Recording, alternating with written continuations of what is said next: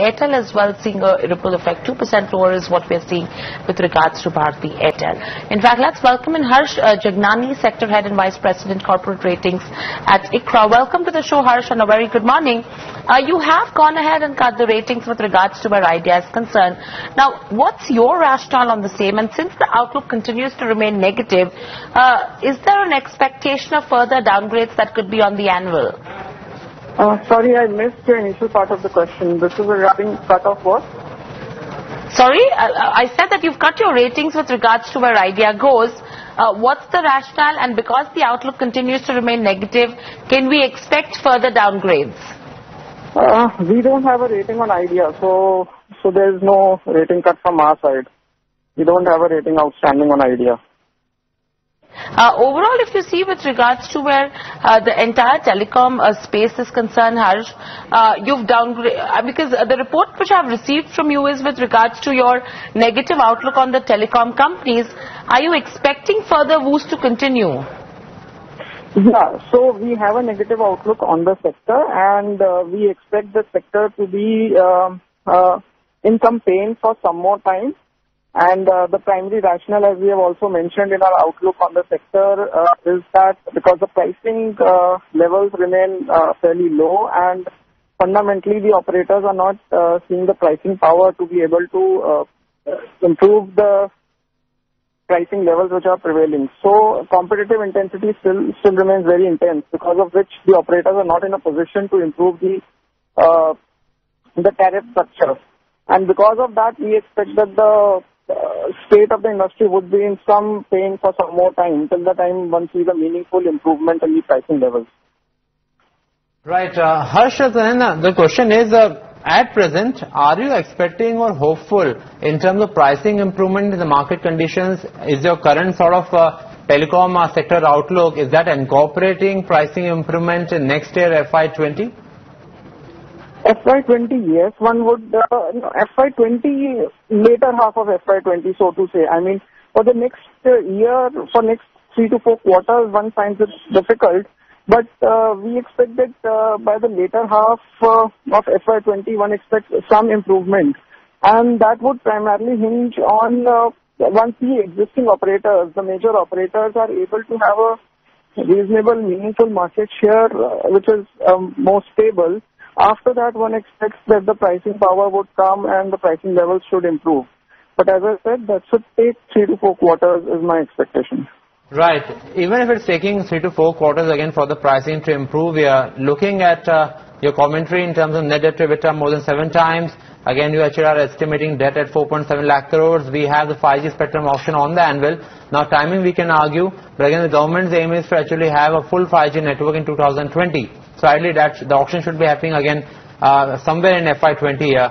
So, looking from that point of view, uh, how much pricing improvement again should be really happening uh, for your outlook to change? It's a tricky question, but I'm trying to ascertain what sort of pricing improvement you would have incorporated and uh, uh, whether again uh, anything is going to change for the telecom sector.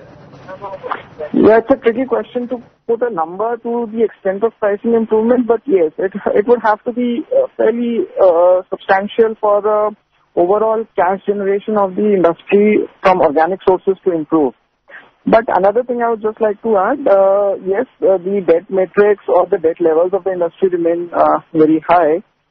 So apart from the improvement in the pricing, what would help in the meantime to some extent would be the inorganic cash flows which the operators are looking to raise, which is through monetization of assets, which is primarily the power asset transactions which are already in the fray, and secondly through equity raising. So these uh, inorganic cash flows can improve uh, or give some respite on the debt front.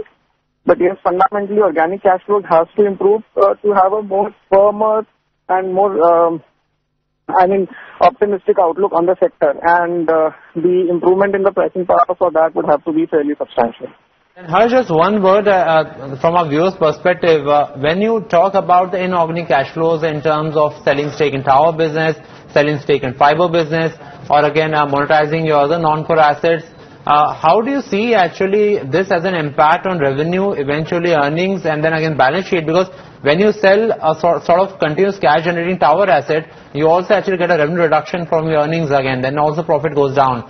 So from that perspective, how long lasting is it when you look at the credit metrics and outlook uh, sort of uh, perspective? So if you see from a from a balance sheet perspective, that's the easier part I'll take. Uh, that uh, it has an immediate impact on your balance sheet in the sense that uh, you can you are raising funds which you can use to reduce your debt. So to that extent, it can have an immediate uh, positive impact on the balance sheet. With regard to the revenue and the EBITDA, if you see the operators who have towers on their own books, what happens is uh, the consolidated revenue and because it's an expense to them also to be able to pay the tower rentals. So to that extent, those rentals and revenue kind of get negated. There will be some impact of the EBITDA, but that also not much because uh, I'll just give you an example of uh, uh, uh, this uh, Indus Towers in which uh, Vodafone Idea and Bharti, to Bharti Infratel have a stake. So uh, already they are paying to Indus Towers a market determined or largely a market determined rent. So after they sell their stake in Indus Towers, Indus Tower is no more held by these companies.